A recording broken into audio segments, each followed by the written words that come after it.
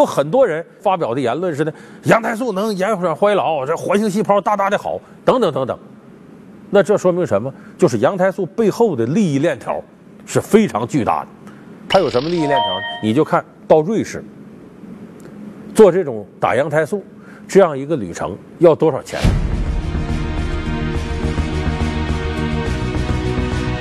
就普通的便宜的也要十五万到十七万左右，而且这还是就是五天六个晚上到那儿，然后最普通的给你打六针，然后你就回来了。人家告诉你这个作用不大，真正作用大得挑那三十万以上的，三十八万八的，最好你选择六十八万八那种啊，每隔两年你定期去一次。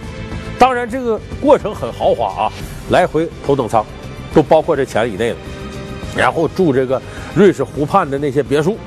青山绿水的，专门有个医疗翻译，懂中文的，一道陪着你，甚至专门给你做中餐。反正这非常豪华了，这一趟，当然钱也好啊，三十八万八、六十八万八，这都好钱。尽管瑞士的一纸禁令已经将羊胎素拉下了神坛，但是在国内，羊胎素美容的宣传并未停止。实际上，我国从未批准羊胎素注射疗法，但由于羊胎素美容、抗衰老。保青春的效果长期被热炒，许多整形美容机构都违规提供这项服务。那是一种一种药水直接打进去的，它是培养出来的东西。国家药监局对这个羊胎素的注射，还有国家卫计委不允许它在国内有注射，所以国内目前市场上没有一家生产这样的产品或者批准注射的这样的一个医院，但是可能会在一些非法的一些渠道呢，在用这些东西。此外。在网络上依然活跃着大量提供赴瑞士医疗旅游的中介代理，提供签证、酒店、租车等一条龙服务。其中最主要的业务是预约羊胎素治疗。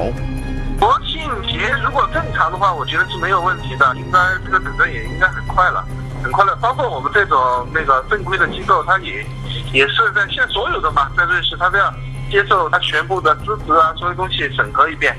所以说，你说到国庆节的话，我觉得是没有任何问题的。如果去做治疗，说这市场是怎么形成的呢？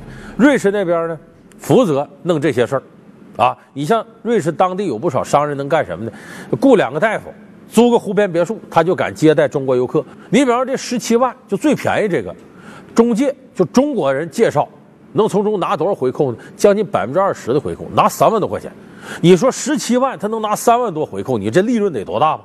所以这个利益链条非常结实，里边产生的利润可以说是暴利，所以才会有这么多人昧着良心为羊胎素鼓与呼。现在等于瑞士官方的一纸公文，告诉我们一个血淋淋的事实：羊胎素没你想象那么好使。所谓的抗衰老，这是完全违背人的生理规律的，逆生长是不现实的。你所谓看到那些明星啊，保养的多好啊，其实呢，很多程度是借助于 PS 技术，借助于闪光灯，借助于化妆技术。我看没有任何一个明星脸儿呢捯饬漂漂亮亮的。说你给大伙看看你腰吧，你腿部的肉吧，是不是很松弛？说没人敢看，为啥？这个东西是经不住检验，那张脸是可以造假的，也不行整容啊，涂脂抹粉一样可以啊。所以有的人盲目的相信，你看人家为什么那不显老，那就打了羊胎素了。